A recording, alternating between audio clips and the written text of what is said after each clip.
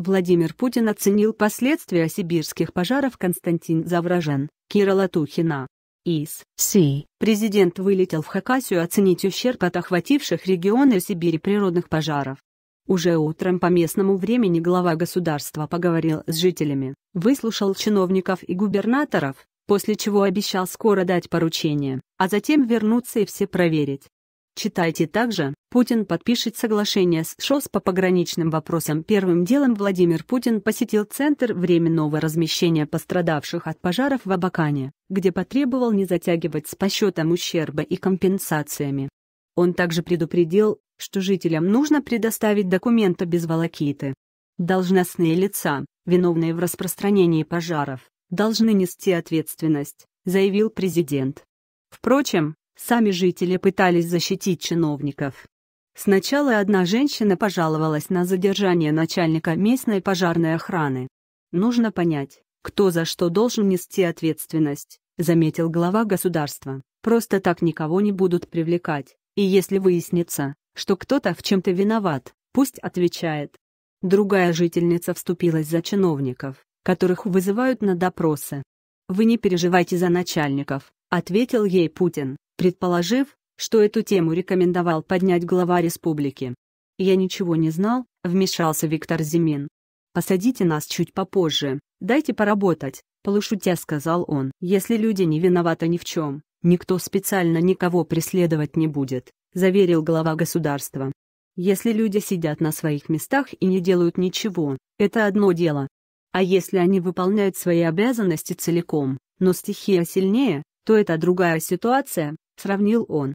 «И никто только для формальности привлекать к ответственности не будет», — уверен Путин. Также президент поговорил с женщиной, которая во время прямой линии просила о помощи пострадавшим от пожаров. Ее дом удалось спасти. Но она с болью вспоминала, как огонь пришел в деревню. «Все будет хорошо. Не переживайте», — ободрил ее глава государства.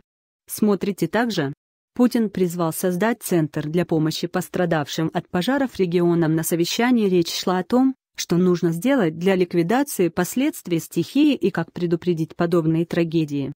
По предварительным данным, уничтожено около 2000 домов, в зоне бедствия оказались 39 населенных пунктов.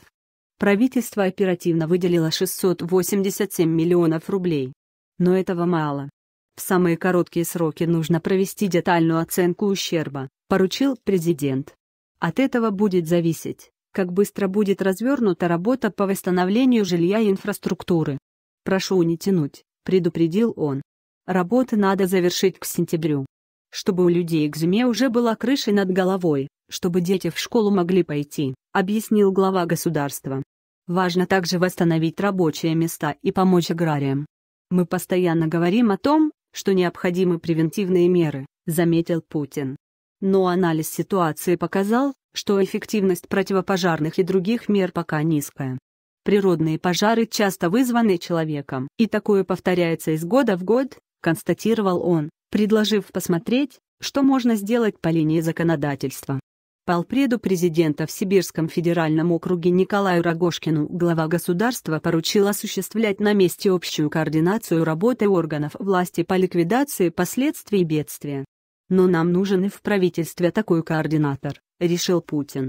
Это должен быть специальный центр, интегратор, который подведет потребности каждого пострадавшего региона, каждого человека, выработает единый подход и будет держать это под своим контролем, уточнил он. Глава государства обратил внимание на расходование средств. Они должны пойти на ликвидацию последствий стихийного бедствия, на помощь пострадавшим. Путин обещал дать все поручения в течение двух дней и сообщил, что через месяц-полтора еще раз приедет в Хакасию. А после совещания пригласил главу Управления Следственного комитета по республике на разговор. Чрезвычайная ситуация сложилась в результате аномальных изменений погоды, несанкционированных сельскохозяйственных палов и сжигания мусора на частных подворьях, уверен глава МЧС Владимир Пучков. Наиболее сложная обстановка была на территориях Хакасии, Красноярского и Забайкальского краев. Читайте также. Путин встретился с обратившейся на прямую линию жительницей Хакасии. Оценка ущерба завершится в ближайшие дни. Удалось отстоять от пожаров более 70 тысяч домов, объектов социальной инфраструктуры. Погибли 34 человека, пострадали более 7,5 тысячи жителей.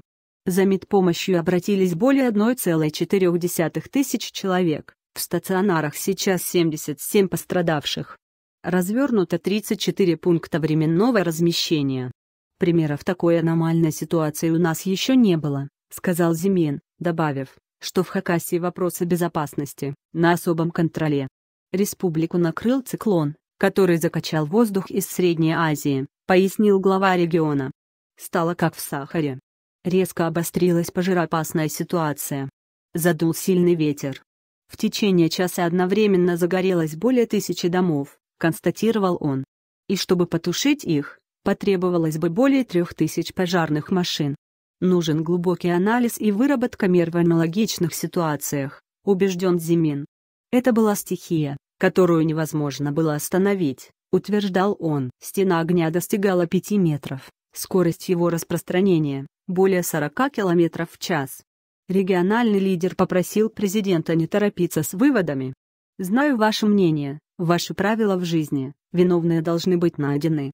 Только бы не крайних нам найти в этой ситуации», — опасался он. Также на совещании просили пересмотреть систему оплаты труда пожарных, чтобы она не стимулировала их тушить огонь подольше.